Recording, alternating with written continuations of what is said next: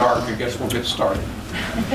Um, I'm Ed, and this is part two of a two-part series on Creede.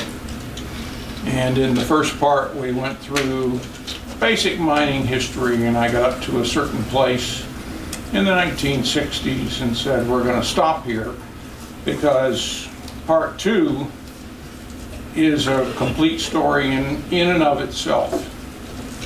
And it starts out by saying that this has absolutely nothing to do whatsoever with Creede. But there was a point in time when we didn't really know about the kind of volcanic activity that went on in the San Juans or specifically at Creede. This is Kilauea from the other day. And this is a, a mere pimple. Um, I, I heard that the parking lot on the top of the mountain fell into the crater, at which point I go, big whoop. And I'll show you why. And this has nothing to do with it either. And this has nothing to do with it, although it is a spectacular photograph with a helicopter for scale. But all of these things are basaltic volcanism. And that is mineralogically, geochemically, completely the opposite at the far end of the scale of what we find going on in the San Juans. And we didn't really know a whole lot about this for a long, long time. We know that Pompeii was destroyed and we talk about Plinian type eruptions and things like this, but um, geologists pretty much remained in the dark until 1902. And that was when Mount Pelee went off on the island of Martinique in the West Indies. That is Mount Pelee, and this is where the eruption pretty much destroyed everything, and the town of Saint-Pierre is there. And this is a view of Saint-Pierre today because there really weren't any photographs of the town before the eruption. But they pretty much rebuilt everything just in place. And it was around 30,000 inhabitants. And this is a view after the eruption. And 29,998 people were dead. There were two people that survived. One guy was in a dungeon in the jail, and it was down in this basement, literally in the dungeon, and he survived. And there was another guy that was on a boat in the harbor, and the shock wave apparently knocked him into the water, and he turned the boat over on top of himself and managed to weather the events. And the French were in charge of the island at this particular time, and they immediately sent a geologist over who began the inquiry as to what on earth was this that had actually happened, because it wasn't on anybody's radar screen. And throughout the rest of the early part of the 20th century, there were a series of eruptions um, of Mount Pelee. And in, and in fact, Frank Perret actually was on Puerto Rico at the time of the eruption, eruption, and he went there, and he was completely impressed, and in fact becomes a volcanologist because of his observations. And then in the 1920s, um, Mont Pelee again erupts in a major eruption, and he shows up and puts together the first real report uh, that any of the Americans had done. There was one, of course, done in French. Um, but that's what was going on. So with that, we moved to Creede in the San Juans, and there's this same picture that I've shown you before. And it is this area that is the San Juan Mountains, and those are all related to the kind of volcanism uh, that we saw in Martinique. This is a geologic map of the Creede area And that's the town of Creede right there. And there's a couple of black lines, and it doesn't really matter too much for our purposes. This one is actually the Amethyst Fault. And this is by Whitman Cross and Esper S. Larsen. They mapped off and on for, I don't know, 20 years up there and did a study on the petrology of the volcanic rocks. And they weren't really trying to look at structure and they weren't really trying to understand the volcanology. They were doing a whole lot of lab work and characterizing the rocks. And you can certainly see that there is this sort of roundish feature here, and in the middle it says Snowshoe Mountain, and that is in fact the Creede caldera. But everything else that is a major volcanic feature is missing from this map. And Whitman Cross and Larsen himself too are, are two of the truly great geologists. It was just that this concept wasn't really something that had presented itself front and center to geologists at the time. And this is the guy that really sort of put it all together and figured it out there in the central San Juans. This is Tom Steven as a young man on horseback, and this is how he actually mapped. Um, he was able to cover a huge amount of ground. And through time, he put together the story, and the more that he put together, the more the survey got involved in the whole thing, the more manpower they uh, threw at it, the more money they threw at it, and the whole project ends up in the um, 1980s with um, uh, Paul Barton and Phil Bethke and a number of other people putting together a study of the of the Creede mining district, and they studied it so much that Phil Bethke used to joke and say, um, "Well, we we called it a type of mineral deposit, but we've studied it to death, and actually, it's a type with more exceptions than any type you've ever seen in your entire life. But it was a labor of love. Phil's not with us anymore. Paul is uh, actually living in Colorado Springs now. And um, he and I corresponded about several of the things that we'll, we'll talk about tonight. But it's fitting to dedicate this sort of to Tom Steven. Um, he really was the guy that, that put it together in the field. And this is a map of the San Juan volcanic field. And the blue is the outline of the field. And that is the Creede caldera. And these are the nested calderas that are all a part of what is called the central caldera complex. And this is Lake City and Silverton, uh, this was actually understood by Burbank and Luedke back in the in the 30s, but it was this part that people really hadn't caught on to until Tom started mapping it, and then of course it's been greatly refined. Refined. Peter Lipman has uh, put together this now, and this is, I guess, the latest of all of the maps that have come out but the main feature that's on here that's striking is the big outline.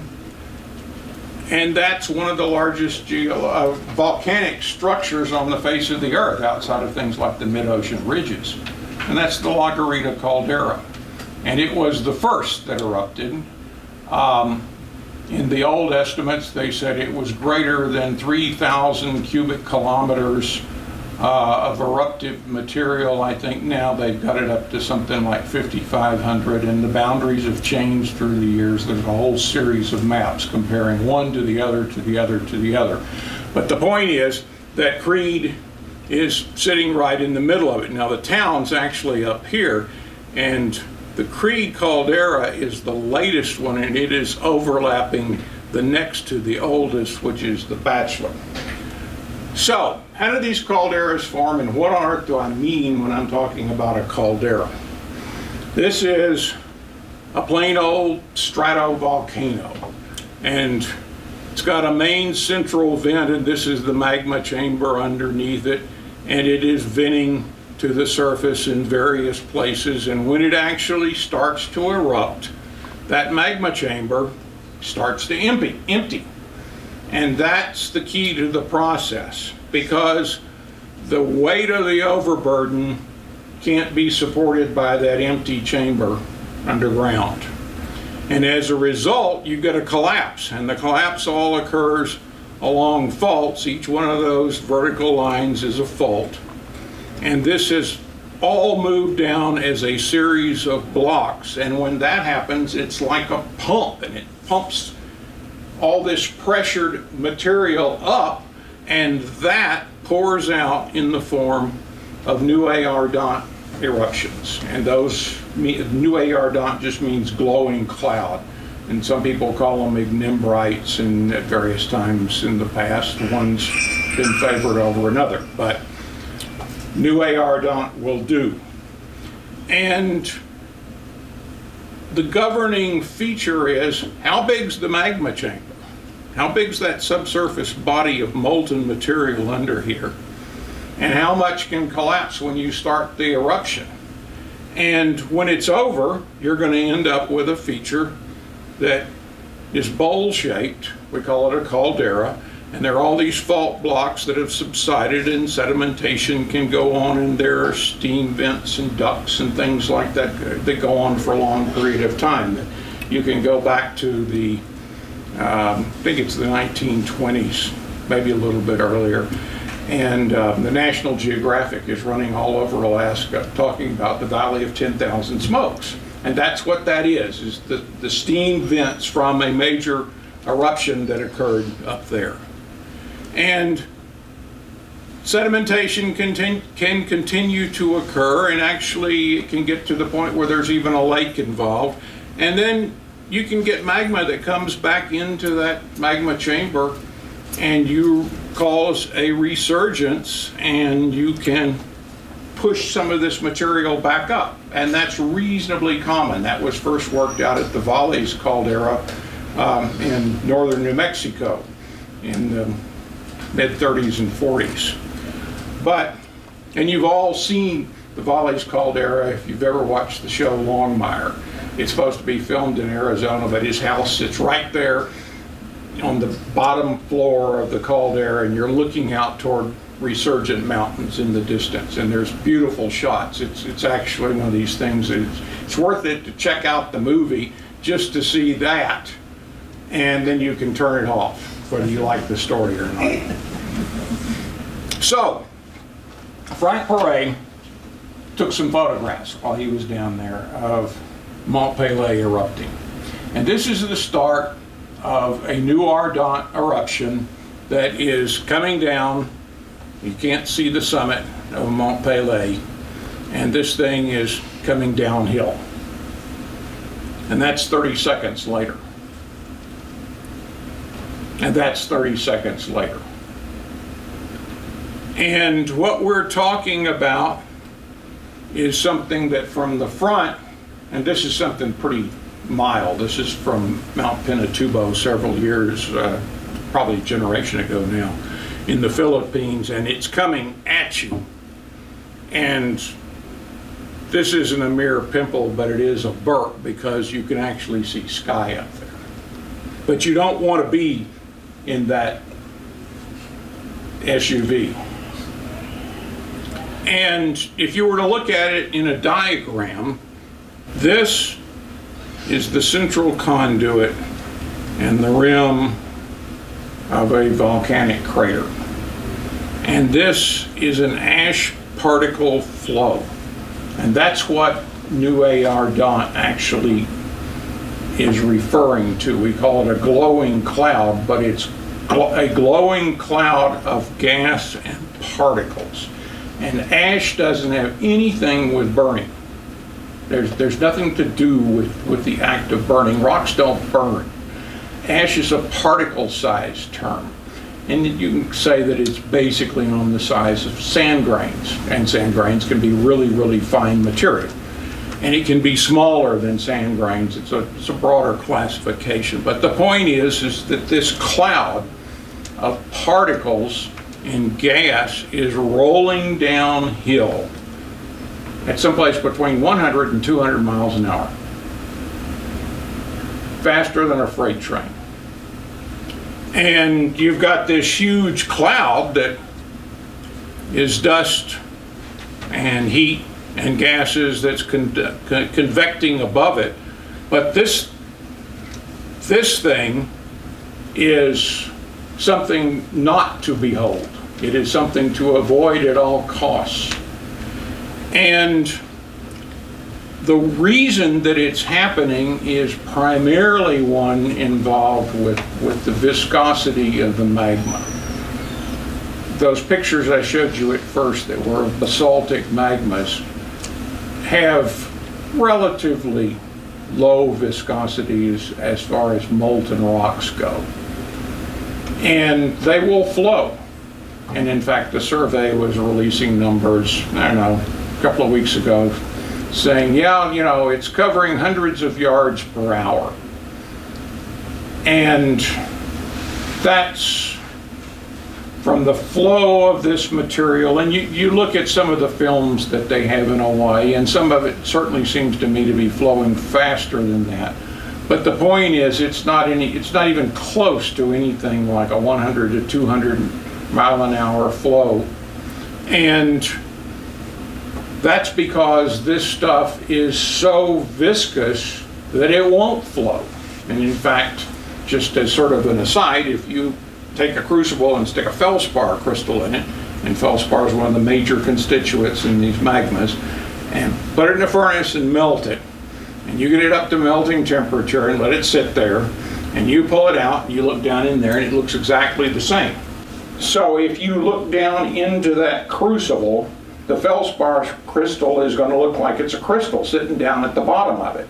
And if you take some tongs and turn it over, it will in fact flop out and it'll sort of deform because it is in fact molten and it'll set fire to your bench. But after you quit worrying about that, then you, you get the point that this is something that doesn't, it's not like running water, it's not like running maple syrup, it's not like anything like that. The closest analogy, I guess, would be something like silly putty. If you put it on the floor overnight, then it'll run all over the place in a small area and set fire to your carpet, and your wife will kick you out of the house for doing this kind of stuff. But the point is, it doesn't run. And furthermore, it doesn't allow the gases to move very well through it. So the eruption is an explosion because when you start releasing the pressure, the gases are expanding and the whole thing explodes and all the little particles head downhill. And not only do they move with the speed of a freight train, they move with the force of a freight train. And this is a picture that Perret took of a typical not just a single, but a typical lava boulder that was transported by the nuée ardente for five kilometers. And the San Juans are a complex of these kinds of calderas, each and every one keyed to this kind of eruption in the, in the central area. You, the volcanic history of the area starts at around 35 to 31 million years ago, and the first thing that that happens is the eruption of the La Garita caldera, the biggest one, and that gives us the rock that we call Fish Canyon tuff, and tuff just means that it's a rock composed of volcanic particles. It's not lava, it's particles that have all solidified together.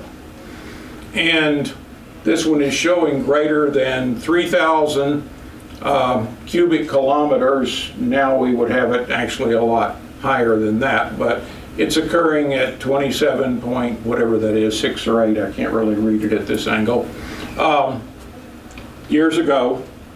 And the next one is the Carpenter Ridge Tuff that's a part of the Bachelor caldera erupting, and that's a smaller caldera inside the big one. And as it turns out, there's some that we don't even really know where the eruptive center was. But, and we've just got unknown out here, but we go through all of these, and the very last one is the Creede caldera, and then the district is mineralized. And it's this part right in here that is of extreme interest to us, but it all fits into this pattern of a large volcanic province that is contributing material in the subsurface that can be tapped and utilized by hydrothermal systems. And deposit their mineral contents. So, this is a map with the gray being the out present day outline of the San Juan volcanic field. And the sort of yellow ochre is the outcrop distribution of the Fish Canyon Tuff from the La Garita caldera. And the pile is between 30 and 200 meters thick for 15,000 square kilometers. That is a huge area. We're, we're, talking about something that easily rivals and probably surpasses the Yellowstone caldera. And I assure you that when it went off, it was a spectacular event, depending on where you were standing. So, the rocks that have been derived from it, when you drive through the area around Creede, and in fact when you drive over the pass into Lake City and all through the San Juans, oftentimes seem to be in these stacked layers. And as it turns out, that is one unit from one caldera. That is one unit. That is one unit. That is one unit. And that is one unit. And each one of those represents a major eruption in this series of nested calderas that are a part of this central San Juan complex. And theoretically, it's been proposed that there was a very large batholith deep in the subsurface that was feeding smaller stratovolcanoes beginning around 35 million years ago. And then with time, that continued to rise. And as the batholith approached the surface, then major volcanism broke out. There actually aren't a whole lot of those stratovolcanoes that are, that are left. Most of them were completely consumed in the caldera forming process. But this is the kind of thing on the regional scale that is responsible for uh, ultimately the mineralization of the Creede um, ore deposits. And if we actually look at a map of the Creede caldera here, and the Bachelor caldera here, and the San Luis complex, which now is mapped as several different calderas, they're all lying inside the big La Garita, and every one of these during collapse had this central system of faults that is the mechanism of the actual collapse. And at Creede, and in fact it also happened uh, in the Creede caldera, there is mineralization that has occupied those systems of faults. And they are long, continuous faults that is a perfect site for mineralization events. And if you look at it in cross section, you can see the system that we talked about last time, the amethyst vein system, and the P vein and the OH vein, and then over here the Bulldog Mountain Fault. And just to orient you, this Solomon Holy Moses Fault is the one where the original discoveries by Nicholas Creede were made, and the one over here on the Alpha Corsair is where the earlier discoveries were made of the Alpha mine uh, that never really amounted to much of, of anything. And if you look at it in cross section, um, that shows this central area that has subsided, collapsed, been downthrown, however you want to phrase it, when that magma chamber emptied below. And this is the amethyst fault, and that's the OH vein and OH fault. And this is the Bulldog Mountain fault. And one of the things that Tom Steven discovered, and he, and along with Jim Ratté and some other people, did some work in the early and mid 60s, and they decided that, you know, the, the key to, to, to mining in the Creede area seems to be tied to is this thing connected to the amethyst vein system? And if the answer is yes, then the chances are that it's really economic. If no, then it's real iffy. And because of that thought coming up, the survey actually contacted a couple of mining companies and said, you know, you want to you want to drill some holes and figure out some things. And as it turns out, Homestake, you know, from Lead, South Dakota, the big gold mining operation, took them up on the on the prospect, and they ended up discovering mineralization in the Bulldog Mountain um, fault system, and that turned into a mine that operated from 66 to I think it was 88. Now, there's one more kicker that's in all of this. This, this is Crater Lake. But the Creede caldera had a lake in it, a whole lot like this. Essentially, the Paleo Rio Grande River was sort of dammed up. And this becomes a feature in the geology of that area. And this is actually not, uh, that's Devil's Island, Dragon's Island, something like that in the middle of Crater Lake. It's not true resurgence, it's a small vent. But the Creede caldera actually has major uh, resurgence.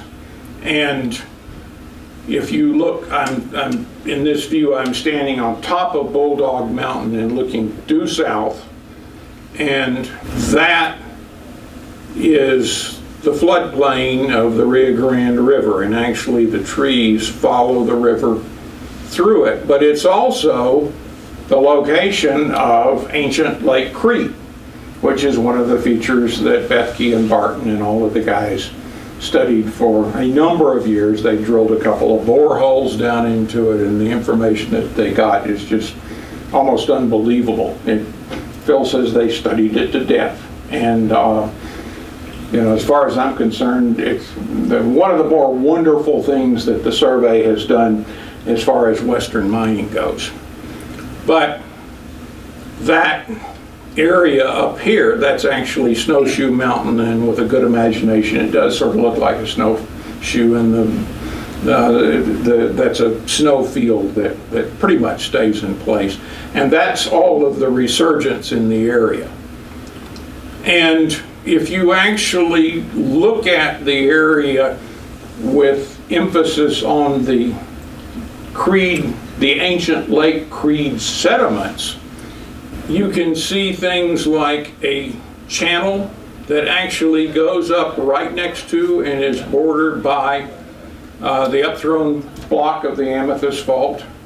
And all the way down into the area. The Rio Grande would be a little bit further to the south. And this is a bed of sedimentary rock that's oh, between 50 and three or 400 feet, maybe up to 500 feet thick.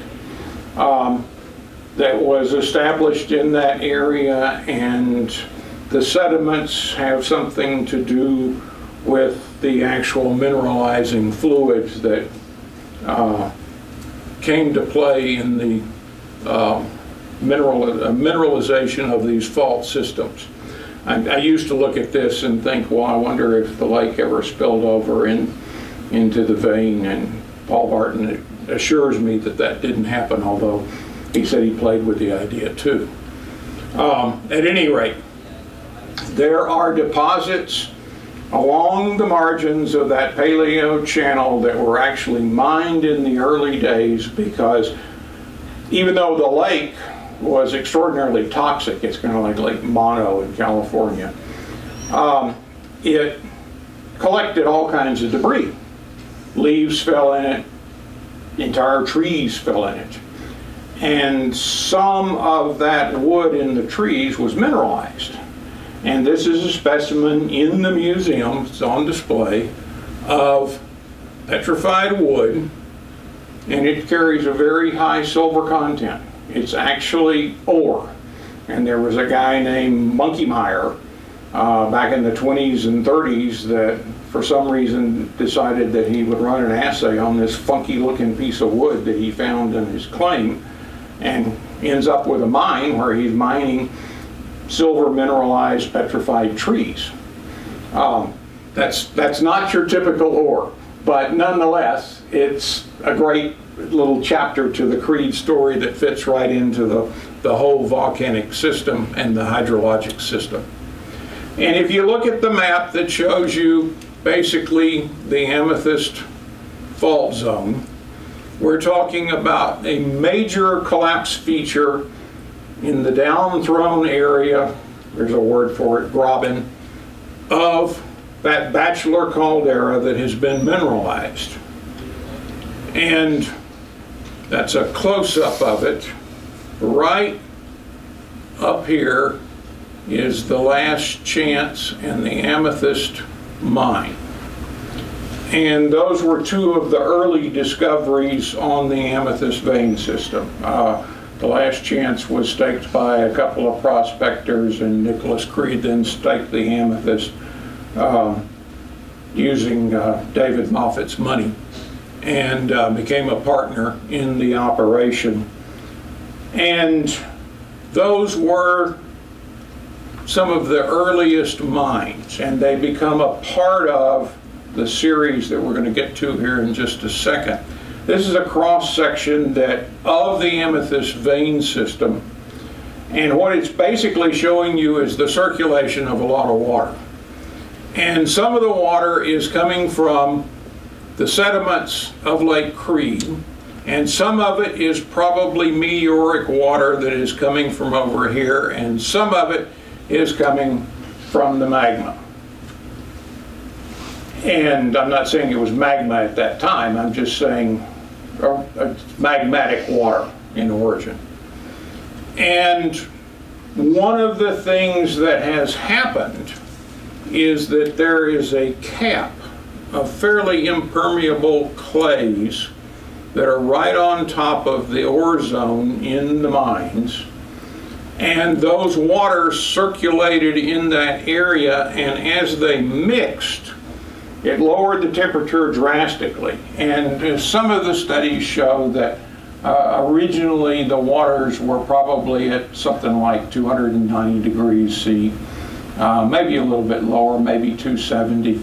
But when they mixed, they were dropping way down. And it was that mixing that actually causes the precipitation of these ores. And so Here is the amethyst lower on the hill, and here is the last chance. And the last chance in its upper workings had what they called a cave, for want of a better term. And that was loosely consolidated, brecciated material in the fault zone that really wasn't stuck together very well. There'd been enough movement and it had been broken up, and it wasn't real stable. And to go in there and actually mine the thing would require an, an, incredibly terrible job and very costly job of timbering. And so they came up with a unique mining method, and it was to throw sticks of dynamite into it, and they'd go off, and then the stuff would come down, and they would just pull it out on the ground. And the stuff that they were pulling out that was coming down the ground was this stuff. And this is what is called sowbelly agate. And this is banded quartz that's purple, that we call amethyst, and banded quartz that has a microcrystalline texture that we call chalcedony. And the white basically is the chalcedony, and the purple is the amethyst. And in Paul Barton's studies, he has speculated with a high degree of certainty that this actually is opal that has altered to chalcedony through time. But the other part of it is this stuff. And this is a chalcedony nodule. And those dark streaks are leaf silver. And you can actually see it has this silvery look to it in this picture. And from here to here is about three inches across. And this is the stuff that they were mining. And the mining methods not what you would call conventional, but it probably is the safest way that you could do something like that. And they did it for an entire level and into the next level. And the people that report on, some of the kids that grew up in the area used to stand up on the hill and watch the ore wagons, and they say that, you know, they came down the hill with these loads of purple crystals all over them, and every once in a while a piece would fall off and it didn't matter whether it had silver or not they were out there grabbing it and taking it home. But this is that material. And the way that it actually comes into existence is a part of this very long paragenetic sequence of events, and it's not my purpose to try and go through this and, and get into true economic geology. But it is happening in the second event. And banded barite, banded quartz, sulfide minerals, and sulfosalts and silver were all crystallized in that material throughout that time period. And furthermore, you can draw some conclusions by the kinds of crystals that you actually see. And there's one more point to all of this, and this is this was one of Phil Bethke's favorite things to say, and that is that the whole Creede deposit took less than 10,000 years to crystallize and form and in place. And that's a rather startling number. I, remember in freshman geology, it became very obvious, especially in the labs, where the lab instructor would say, and then millions of years passed and things happened. And that would be the explanation for all kinds of science. But that's real time. Those are crystals actually growing sort of like you grow them in the lab or something. And since it's a big enough deposit, you know, it still takes a long time to do it, but we're talking less than 10,000 years.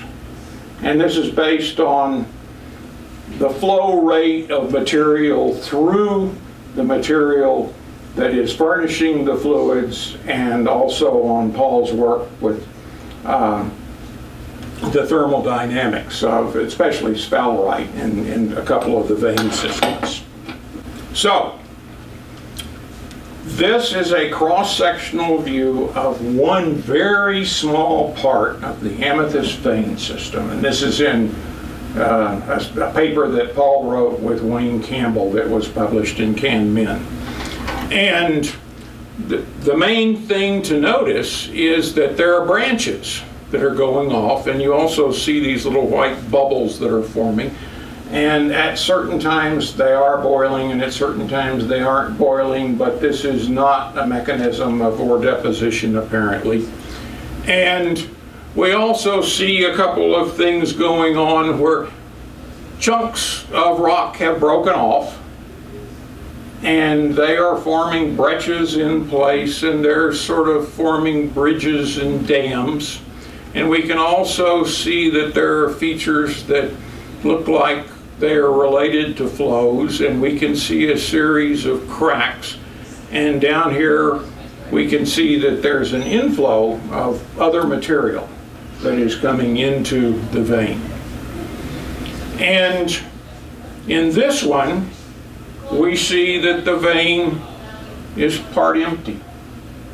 And this isn't something that I think has been thought of very often or not thought of very often. It's just sort of passed over. But there are things in the amethyst vein system that we can see could only happen in an area that was dominated by vapor. I don't, I'm not saying you could go there, in there and stand there and breathe the stuff. Uh, the gases were probably really noxious and you'd keel over and you wouldn't want to get in the boat and try and float around in it. But the point is, it's a vapor dominated system at times. And that probably changes a number of times during its history. But the point is the water level has dropped and it's, we're still calling it boiling fluids. Sometimes maybe it is, sometimes maybe it isn't. And there are several things that we can talk about.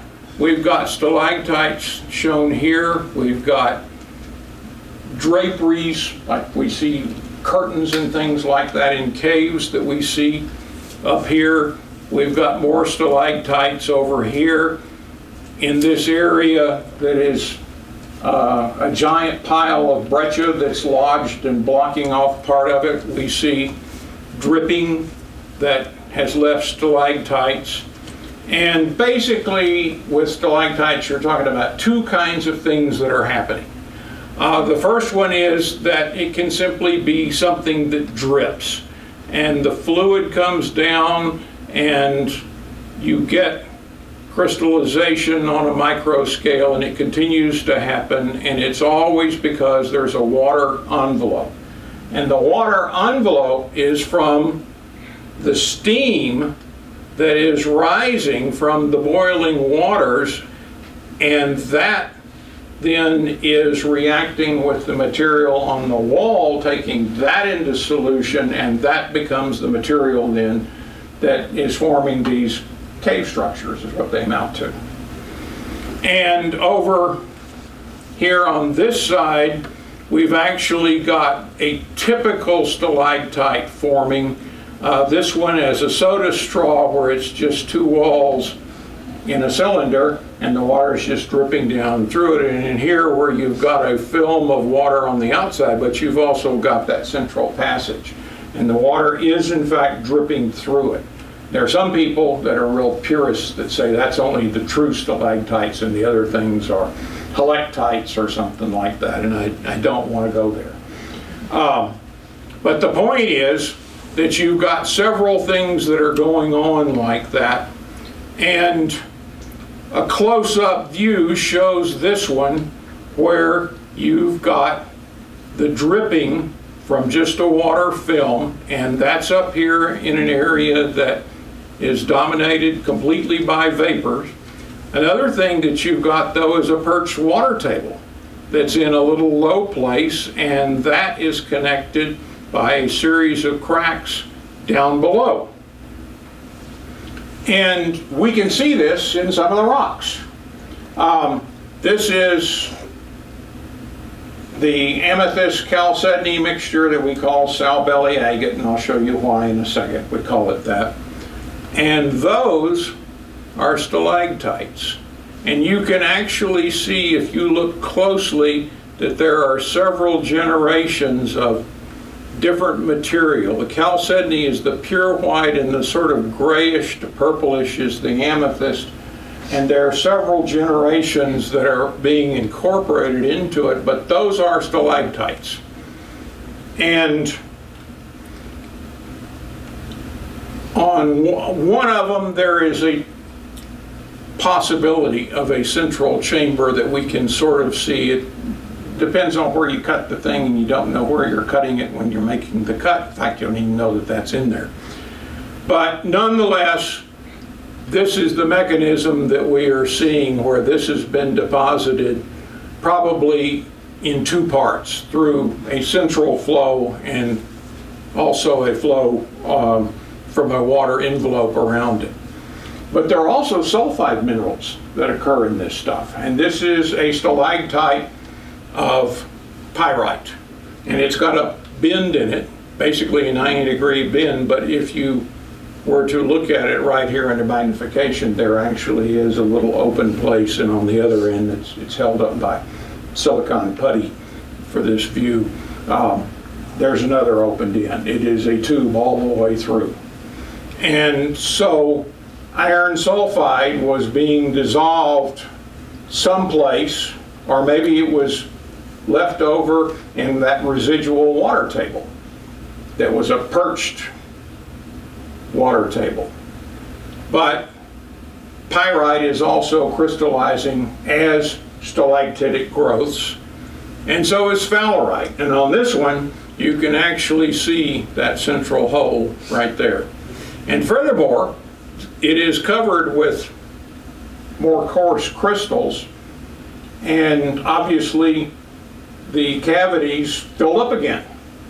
And the crystallization continued, but in a different form with regular precipitation of crystals instead of uh, through the stalactitic type growths.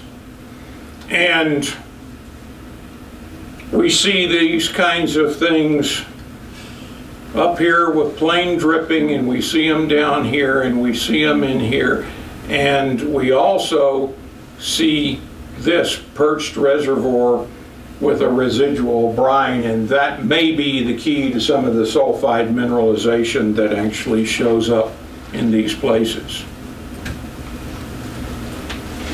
And some of them obviously were dripping and there are some very delicate structures, none of which really are uh, suitably photographed that we see in places like this, but they're actually showing a flow direction of currents uh, into and through the vein system. And there are also places where there are little hummocks that seem to be from the inflow of a, of a second fluid. This is a series of stalactites. They're galena.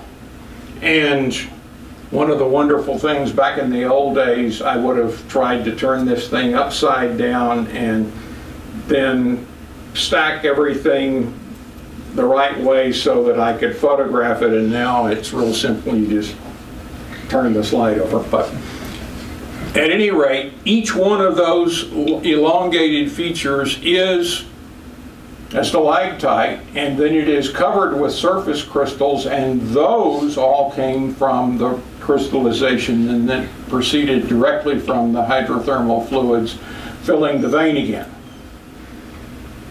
And the reason for the sow belly name to the agate is this. The miners said it looked like bacon and they bought cheap sow belly to mix with their beans and that's what they lived on and so when they found the stuff their imagination had no no problem conjuring up uh, that term if you look at it in cross section you can see that oftentimes there are a series of layers on either side of a central area there actually is a cavity running through a lot of this and this corresponds to this, this with this, all the way through. And so this is growth not from that central part out, but from the walls in. And corresponds essentially to the filling of the vein with this material. And you see the little um, blebs, dark colored things all the way through it. And those are all sulfide minerals. And in a lot of cases, in this particular area, uh, that is actually silver mineralization. And this is a specimen of the, of the museums, and that's about a foot by a foot. Uh, really a very fine example of uh, the sow belly type growth. And this is simply a vug of amethyst where that particular stage had a lot of amethyst growth in the hydrothermal solutions in a area that remained somewhat open and so you don't have complete filling of the vein. And if you look at then a map just showing you the veins, again this is the amethyst and that's the bulldog. The bulldog was mined in the 60s by miners who were very conscious of the value of the silver ores.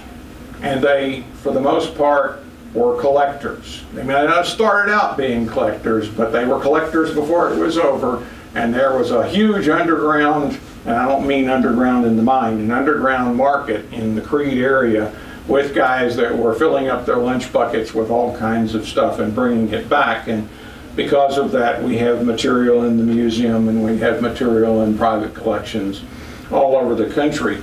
And it's really one of our best examples of what did Bonanza silver ores look like because the spectacular mining of the vein material of the amethyst vein system was in the 30s and 40s and 50s, and those were base metal sulfides. And so these bonanza ores are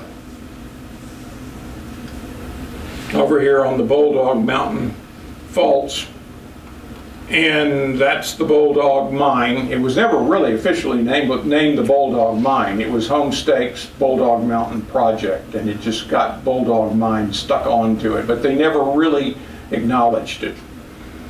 And this is a cross-sectional view of the Bulldog Vein A. And the interesting part of it is in this area right under the surface and the really dark portions.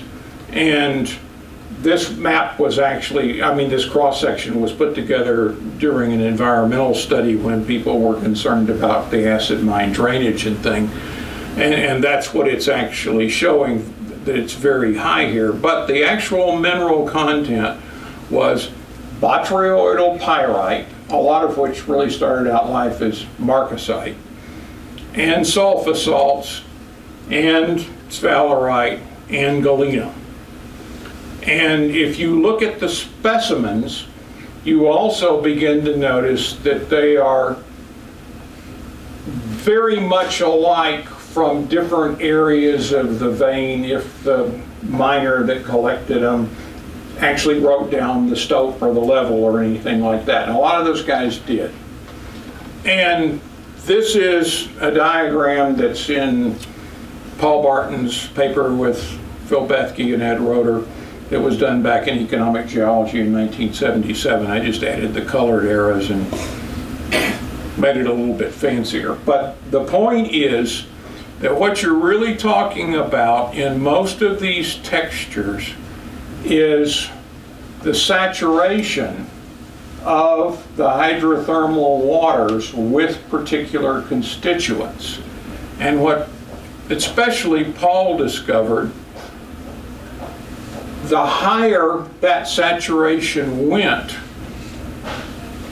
different kinds of crystallization habits would, would actually be expressed in it. And this shows up all the way through Creede, and one of the reasons it shows up is because of these big circulating cells, the saturation levels change from one level of the mine to the other.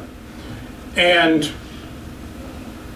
in that previous cross-section, we saw gel, we, we saw the product that would give you gel precipitates, which is the botryoidal. And what that's telling you is that in that area, we're going to have gel precipitates because it almost gets gooey because it's so saturated. It's not, it, it, and the reason it's like that is because it's, it's coming out of solution so fast it doesn't have time to form good crystals. And that's basically what's happening. You could also call this time going down here with greater time. And these are things that are happening fast because of that supersaturation. And that shows up in the minerals.